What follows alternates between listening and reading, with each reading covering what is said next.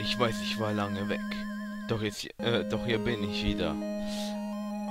Und so. ja, yo, und hallo und herzlich willkommen zurück zu Knights of Pen and Paper.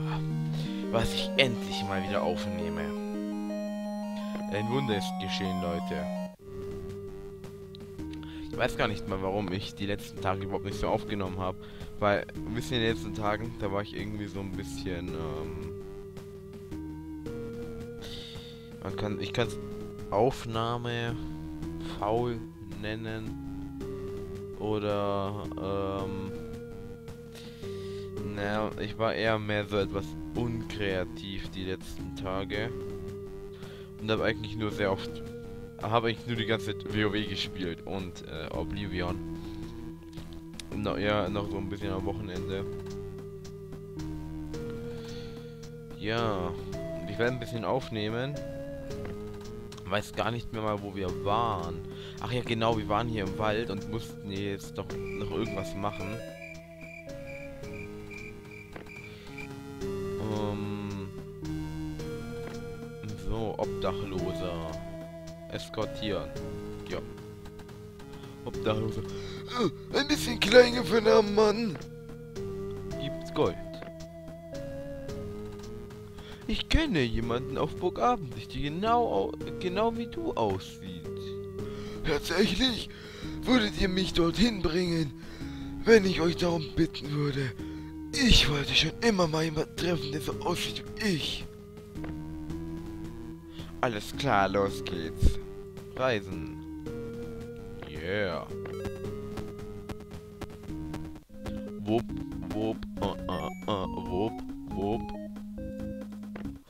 Gott, wir werden von zwei Spinnen angegriffen.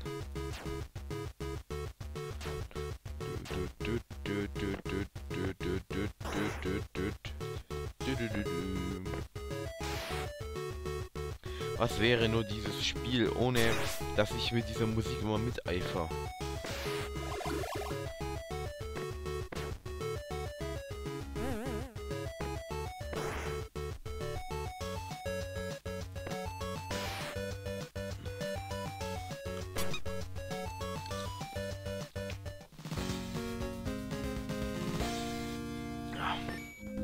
Aber Leute, ich muss euch sagen, ich komme teilweise gar, momentan zu fast gar nichts mehr. Mein kompletter Tagesablauf äh, liegt eigentlich, besteht darin, ungefähr um halb sechs aufzustehen. Dann um, ähm, dann um ungefähr so gegen 6.20 Uhr oder so zur Bushalte zu laufen, damit ich noch meinen Bus bekomme. Oder spätestens um 6.20 Uhr. Dann, zu, da, dann zur Schule gehen, um halb eins dann aus der Schule zu kommen, um halb zwei nach Hause, da äh, bin ich dann zu Hause. Und dann esse ich was, log mich kurz in WoW ein, tu mein, mach mein Zeug da. Bis dahin ist ungefähr dann meistens 3 Uhr und dann um 3 Uhr haue ich mich eigentlich meistens immer kurz äh, so ein bisschen pennen und wach dann meistens immer so oder das war zumindest auf jeden Fall heute so, so gegen 5 oder 6 Uhr auf. Und dann mache ich noch das restliche Zeug. Was ich noch so, was ich echt noch so machen wollte, und muss Hausaufgaben machen und alles. Ja. Hier habe ich es. Gerade nicht so Zeit für YouTube, aber naja. Was soll man machen? Ich versuche wenigstens noch alles zwischen rein zu bekommen. Also wenn ich mal keine Folgen mehr habe zum Hochladen, dann äh, oder so. Da. Ich hätte auch das ganze Wall Waters of Draenor hochladen können, aber das wollte ich noch nicht. Ich war zu faul zum Rendern. oh mein Gott, was ist denn mit dir passiert? Du hast mich trotz dieser Lumpen erkannt. Oh mein Bruder, wo sind meine Robe und mein Hu äh, meine Krone?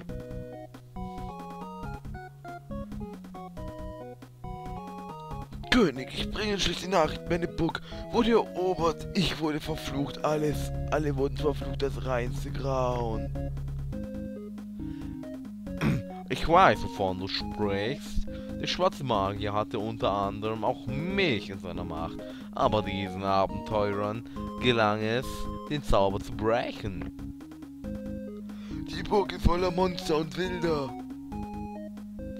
Wenigstens konntest du flüchten. Wir sind zwar bereits jetzt am Rande unserer Kräfte, aber wir müssen die Burg des allsehenden Auges umgehend befreien. Woher weißt du den Namen? Das hat bis jetzt noch niemand gesagt.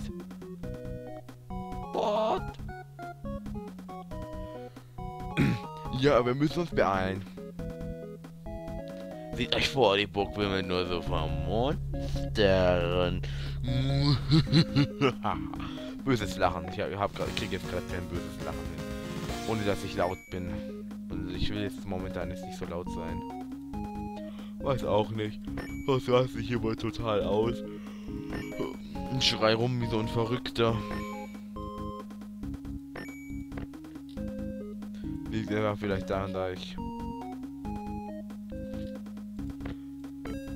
erst vor ungefähr eineinhalb Stunden auf, wieder so gesehen wieder aufgestanden bin. Kaufen wir noch einen großen Phönix aus der Asche. Und ein paar Schleifsteine. Danach werde ich wahrscheinlich ähm, Sky Shit spielen, äh, Skyrim. Mit einem neuen Charakter anfangen und den ziemlich, äh, und gucken, dass der ziemlich behindert aussieht. Bin zwar eigentlich kein großer Skyrim-Fan, aber naja. Denkt euch bestimmt, warum, warum will ich Skyrim spielen, wenn ich das so scheiße finde. Oder sowas.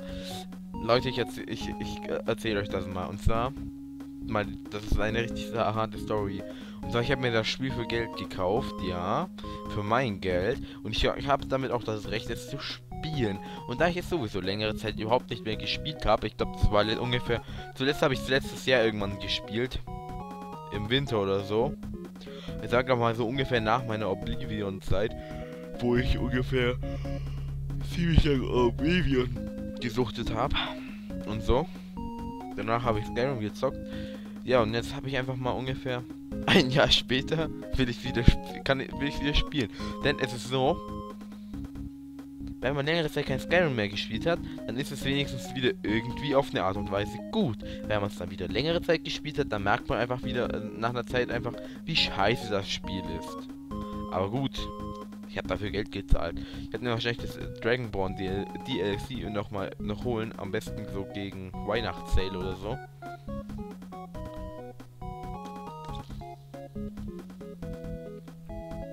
Mal schauen.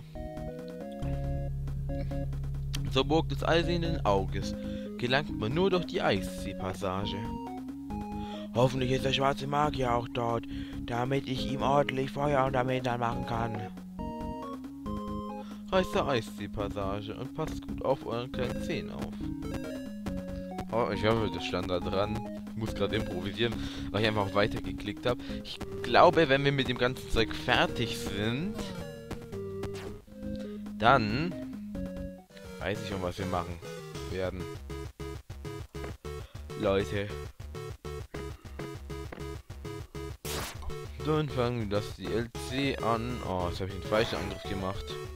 Ich wollte eigentlich keine Spalten machen. Ich dachte, obere Wäschspalten. Oh, ich bin auch gerade wieder irgendwo neben der Spur. Verzeiht mir. Man merkt das wirklich.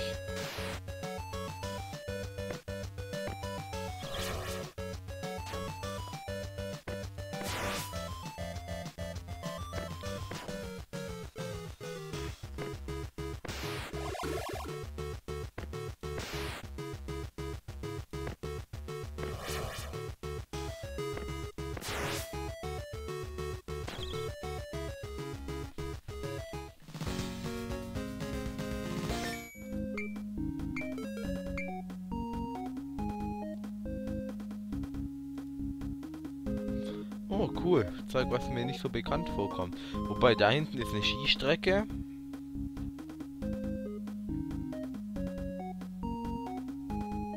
Was das jetzt ungefähr darstellen soll, weiß ich nicht. Ich soll wahrscheinlich ein Yeti oder sowas darstellen. Das da kommt mir... Ach, das ist Captain America Schild. Jetzt... Jetzt... Jetzt sehe ich's. Und das da hinten? Keine Ahnung, soll wahrscheinlich ein Oblivion-Portal oder sowas darstellen. Oder Neta-Portal aus Minecraft. Der eiskalte Wind fährt euch durch, äh, durch Mark und Bein. So langsam beschleicht euch der Gedanke, dass ihr den nächsten Tag nicht erleben werdet. Brrr. Grrr, ich bin ein Grizzlybär. Als ihr den Korridor betretet, seht ihr eine riesige Eiswand. Ihr erkennt sofort, dass ihr sie nicht durchbrechen könnt. Noch dazu besitzt diese Wand magische Eigenschaften. Ihr habt äh, aber das Gefühl, dass es jemanden geben muss, der weiß, wie man die Wand durchbrechen kann.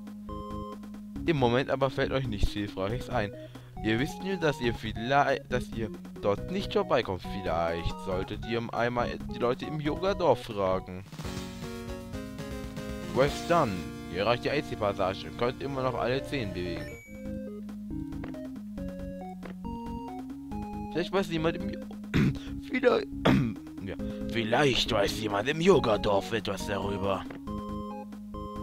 Das ist das Mindeste, was wir jetzt machen können. Okay. Leute im Yoga-Dorf fragen, habe ich mir nicht notiert.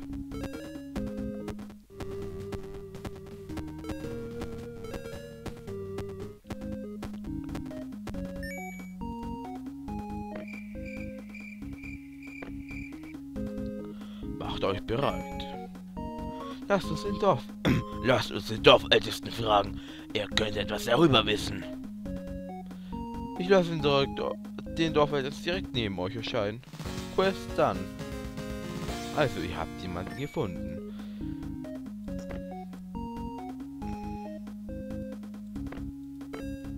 Mhm. Die Breakdance-Oma. Die ist legendär.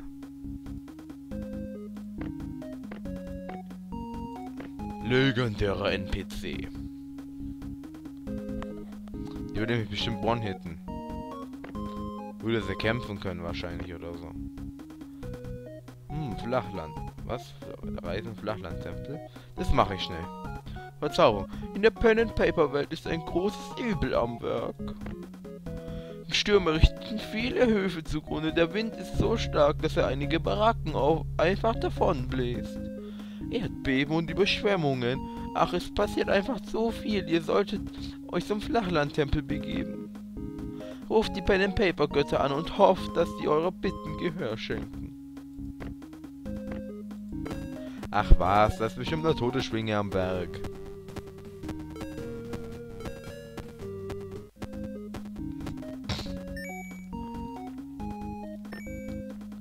Schamane. Jutta, seid ihr gekommen, um den Pen-and-Paper-Götter zu sprechen? Woher weißt du das denn? Ich bin aus demselben Grund wie ihr. Ich komme aus einem weit entfernten Land jenseits der Meere. Die Berner Pepperwelt steht vor dem Untergang und wir müssen etwas dagegen unternehmen. Aber wie? Wir, wir können jede Hilfe gebrauchen, die wir kriegen können. Während ich das Opferritual äh, vorbereite, gäbe es da einige Aufgaben, die ihr erledigen könntet. Quest an Schamane. Seid ihr bereit? Okay. Lavakugel, Schneeflocke. Wüstenrose, Leuchtstein, Lavakugel. Wo muss ich denn zur Lavakugel? Ihr solltet zum Vulkan des Phönix gehen und dort Lavakugeln sammeln. Brauche sie für das Opfer an den Feuergott. Sobald ihr mir, sobald ihr mir gebracht habt, was ich benötige, werden wir mit dem Ritual beginnen. Los geht's. Reisen zum Vulkan des Phönix. Das ist Stufe 30.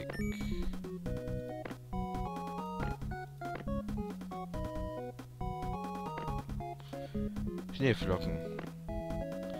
Ihr solltet in den Dunkelwald gehen und dort Schneeflocken sammeln. Brauche sie für das Opfer an den Wassergott. Sobald ihr mir gebracht habt, was ihr bla bla bla.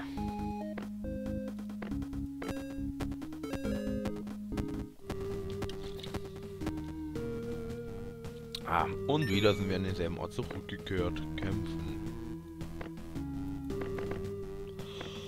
Oh, du kommst nicht vorbei. Huh. Yeah.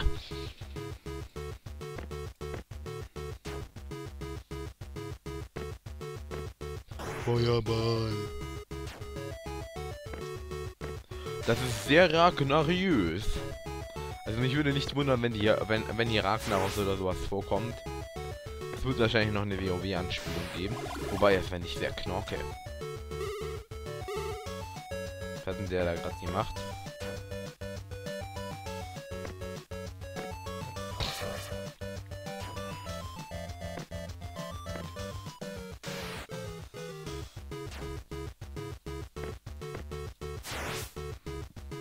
Muss sagen, einer der coolsten Bosse in WoW ist Ragnaros. Gegen den kann einfach niemand, niemand kann Ragnaros das Wasser reichen, ja.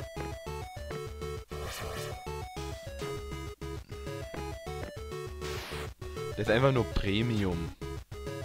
Ja, der, der hockt in seinem fucking Lavapool, in seinem Lavapool vor allem. Mhm, er hat einen Lavapool. So muss man, sowas muss man erstmal mal, sowas muss man wirklich erstmal schaffen, den Lavapool zu besitzen. Und dann, wenn man den, wenn man den auf heroisch macht, dann wird er, dann hat er noch eine zweite Phase, in der er wütend wird und dann aus seinem Lavapool raussteigt und Beine bekommt. Und er, und wenn man ihn ähm, davor noch nicht besiegt, dann ist die Gruppe zum Tode verurteilt. Wirklich zum Tode. Das habe ich schon mal, das habe ich schon zu dritt gemacht auf Level 90. Wir sind da sowas von hart dran gestorben. So hart kann man in dem Spiel eigentlich gar nicht mehr sterben. So hart war das.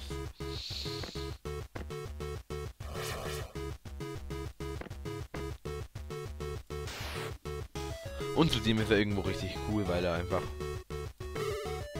Weil er einfach hier so der oberste Typ des Feuers ist. So, Badass Motherfucker, Feuer, Elementar, Oberboss. Ungefähr. Der gute Ragnaros. Wobei, ich könnte auch mal das mit Todesschwinge mal machen. Das habe ich bis jetzt noch gar nicht gemacht. Würden manche Leute sich wahrscheinlich fragen, was, du hast auch nicht gegen Todesschwinge gekämpft? Wie kannst du nur? Sollte ich mal machen. Ich gucke mal, ob ich das Solo machen kann auf 100, da ich weiß, dass ich die Feuerlande auf 10, ähm, 10er normal ähm, eigentlich locker easy schaffe. Wie es auf HC ist, weiß ich nicht. Da kann ich euch nichts sagen. Könnt ihr mal gucken, ob ich das auch im 25er schaffe. Ich weiß nicht, eventuell nehme ich das auf. Ich wollte das 10er eigentlich aufnehmen, aber darauf... Aber ich wollte zuerst te testen, ob ich das wirklich überhaupt schaffe. Habe ich ja, habe ich ja dann letzten Endes auch.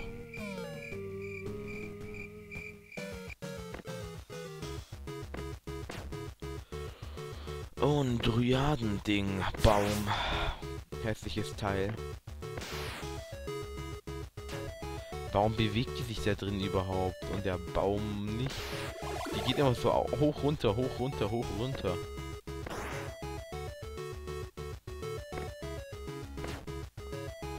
Könnte jetzt ungefähr sagen, was ich da für eine Vermutung habe, aber ich lasse es lieber.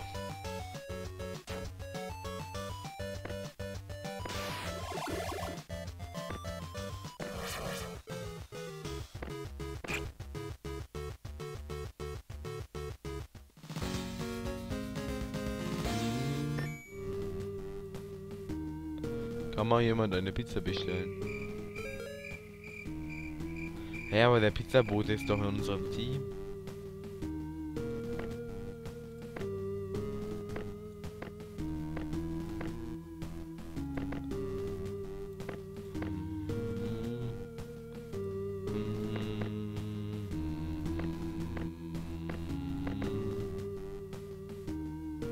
Boah, das wäre ein richtig harter Kampf.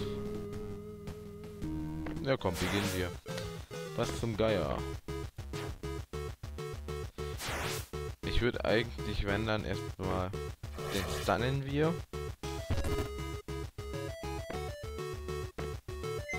Das ist auf jeden Fall machbar.